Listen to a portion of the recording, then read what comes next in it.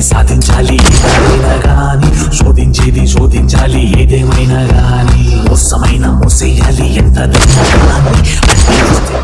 నమస్తే. రామ్ గోపాల్ వర్మ అంటేనే మనందరికీ చాలా మంచి ఇన్స్పిరేషన్. ఆయన శివ సినిమాతో ఒక ప్రపంచనాన్ని సృష్టించారు. అంతేకాకుండా హర్రర్ మూవీస్తో పాటు బాలీవుడ్లో రంగీలా సర్కార్ లాంటి గొప్ప సినిమాల్ని సృష్టించారు.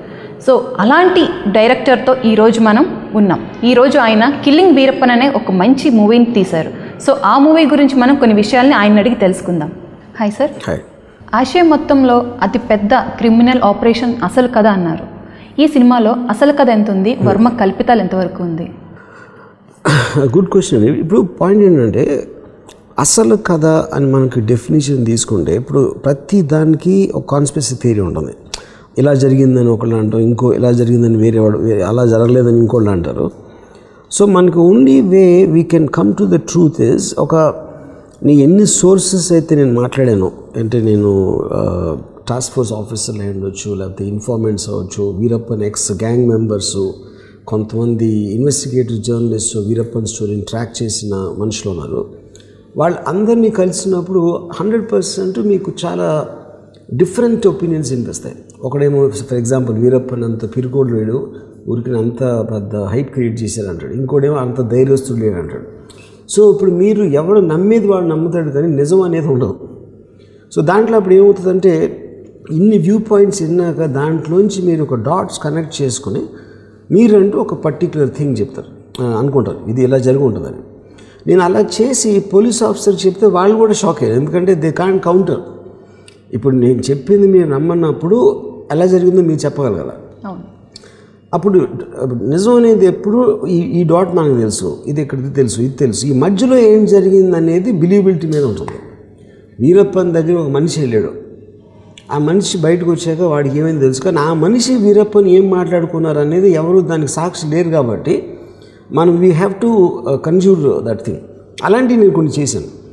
కాకపోతే మీరు సినిమా చూసినప్పుడు అంటే వీరప్పన్ అనేది నా సొంతం కాదు.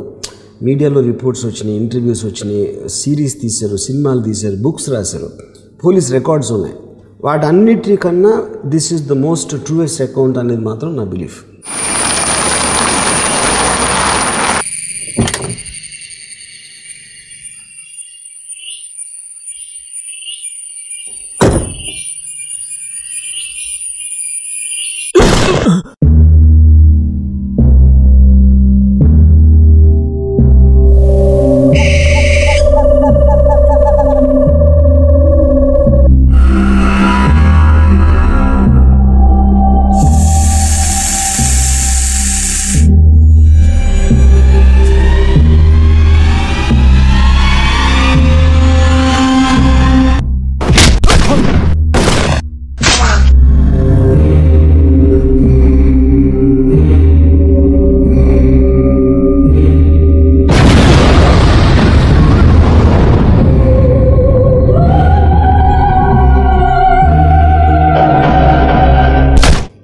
తీసే ముందు మీరు వీరప్పన్ గారి భార్యతో కలిశారు.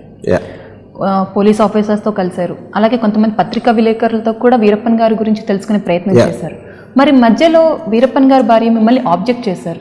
కోర్టుకు కూడా వెళ్ళారు. ఎందుకు అలా జరిగింది? ఇప్పుడు ఒకటి ముత్తులక్ష్మి కానీ నేను ఫస్ట్ కలిసింది ఒక ఆవిడ ఆవిడ పాయింట్ ఆఫ్ వ్యూలో వీరప్పన్ ఆల్మోస్ట్ ఆవిడ లవ్ స్టోరీ లాగా తీద్దాం అనే ఒక ఆలోచన ఉన్నప్పుడు ఒక ఐదారు సంవత్సరాల క్రితం నేను కలిసాను అది కానీ ఇప్పుడు నేను తీసింది కిల్లింగ్ వీరప్పన్. అసలు వీరప్పన్ని చంపటానికి పోలీస్ ఆపరేషన్లో ఏం జరిగింది అనేది ఈ కథ ఈ కథకు సంబంధించింది. సో ఆల్రెడీ ఆబ్వియస్లీ ఆవిడ వ్యూ పాయింట్ మారింది కాబట్టి తన భర్తని చెడ్డగా చూపెడతా పోతున్నాను అనే ఒక ఇంటెన్షన్ తోటి ఆవిడ కేసు ఫైల్ చేశారు. But we settled it so అది నేను కలిసి మాట్లాడినప్పుడు ఉన్న సిచ్యువేషను ఆ సినిమా ఏ పాయింట్ ఆఫ్ వ్యూలో సినిమా అన్నది వేరు. ఇప్పుడు వేరు కాబట్టి ఇది జరిగింది.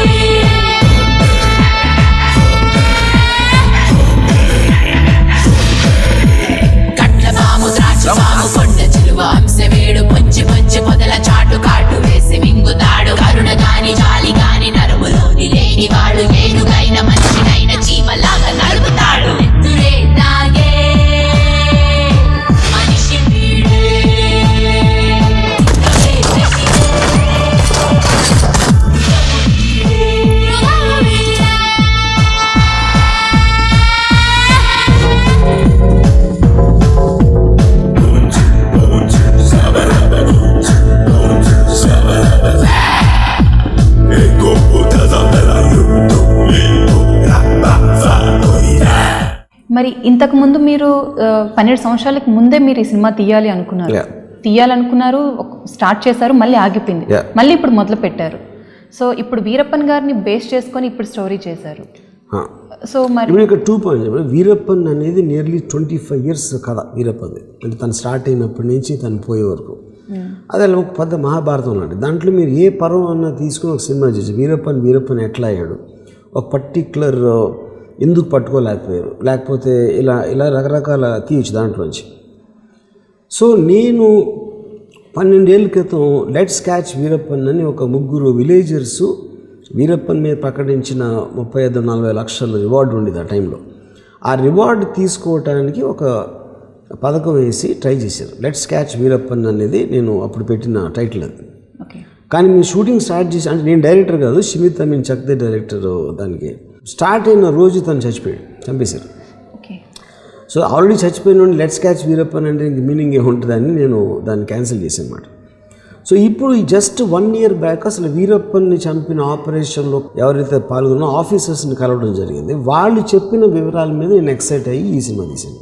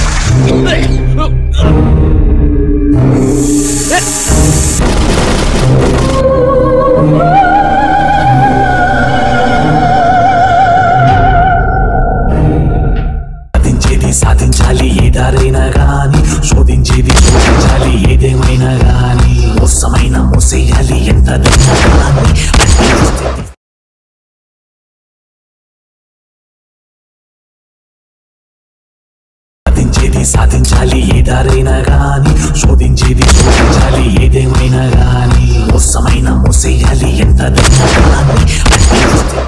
సో మరి లెజెండరీ యాక్ట్రెస్ మన రాజ్ కుమార్ గారిని కిడ్నాప్ చేశారు వీరప్పన్ గారు. మరి వీరప్పన్ గారు ఒకవేళ కిడ్నాప్ చేసినా కూడా తనకి ఎలాంటి ప్రాణహాని లేకుండా విడుదల చేశారు. అవును. మరి అలాంటప్పుడు ఈ సినిమాలో చనిపోవటం చూపించారు. దానికి మరి రాజ్ కుమార్ గారు అబ్బాయి ఏ రకంగా మీరు కన్విన్స్ చేశారు? ఇప్పుడు టూ పాయింట్స్ ప్రాణహాని ప్రాణహాని చేయనంత మాత్రాన ఒక మనిషిని కిడ్నాప్ చేసి తీసుకెళ్ళి ఒక వంద రోజులు అడవిలో ఉంచేసుకుని డబ్బులు డిమాండ్ చేసి ఆ డబ్బులు ఇచ్చినందు మాత్రం వదిలేశాడు వీరప్పన్. సో ప్రాణహాని చేయనంత మాత్రాన అది నేరం అవ్వ అవ్వదు అనుకోవటం అనేది కరెక్ట్ కాదు. అది కిడ్నాపింగ్ అండ్ ర్యాన్సమ్ ఎఫెక్ట్ అది యాక్చువల్గా ఓకే ఓకే రెండోది వీరప్పన్ చేసినది ఒకటే కాదు.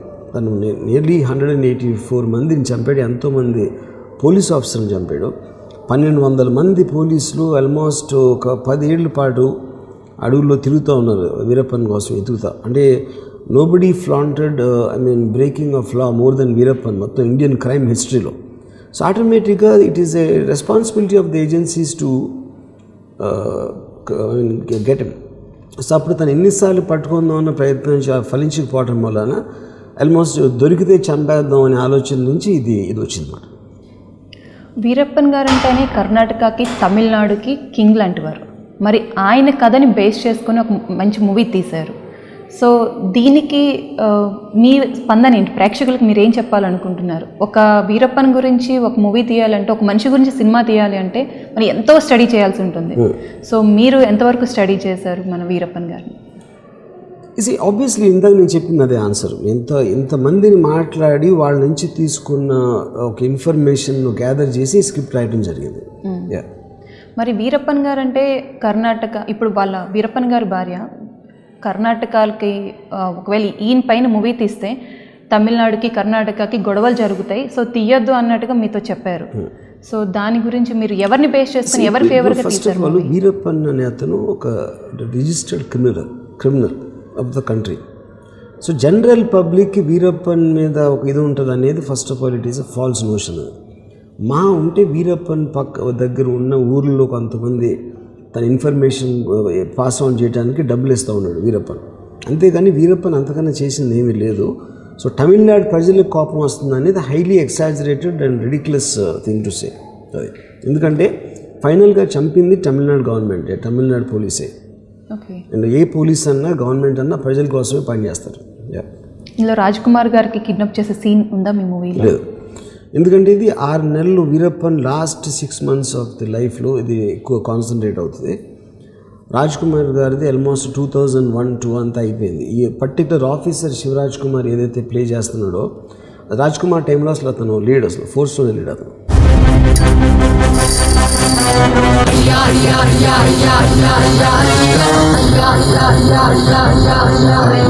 సాధించేది సాధించాలి ఏదారైనా కానీ. శోధించేది శోధించాలి ఏదేమైనా కానీ. మోసమైనా చేసేయాలి ఎంతదైనా